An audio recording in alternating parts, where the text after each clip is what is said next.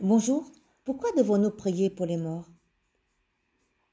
On peut espérer que personne n'ait eu le cœur assez endurci pour rester fermé à Dieu et à son esprit jusqu'au bout. En tout cas, il ne semble pas possible que les chrétiens tièdes, qui ne sont pas complètement dans le péché, se retrouvent en enfer. Mais puisqu'ils ne sont pas non plus complètement dans l'amour de Dieu, ils ne peuvent pas non plus entrer directement au paradis. Et voilà, ils sont dans le purgatoire, un endroit où ils sont en attente d'une purification intérieure. C'est la raison pour laquelle il faut prier pour eux.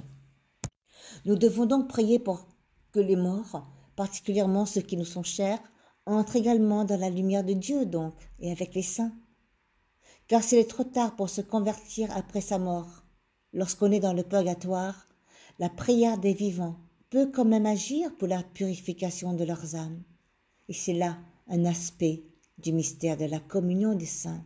Mais prions pour nos morts et prions aussi pour les âmes les plus délaissées, pour lesquelles on ne prie jamais.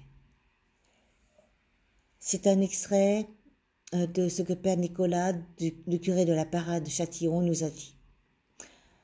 Maintenant, je vais vous proposer de continuer la prière pour les âmes du purgatoire de Mathilde de, Hackeborn.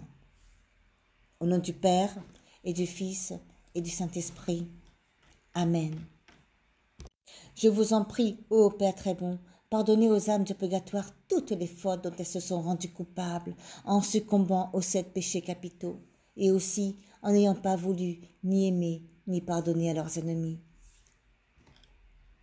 Je vous en prie, ô Père très bon, Pardonnez aux âmes du purgatoire, car trop souvent elles n'ont pas résisté aux tentations et aux passions, mais elles ont suivi l'ennemi de tout bien et se sont abandonnées en convoitise de la chair.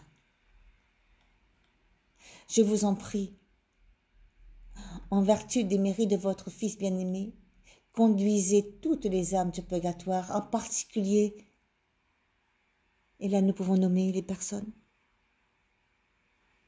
en particulier Conduisez toutes les âmes de purgatoire et celles dont je viens de vous confier le nom dans votre royaume de gloire éternelle.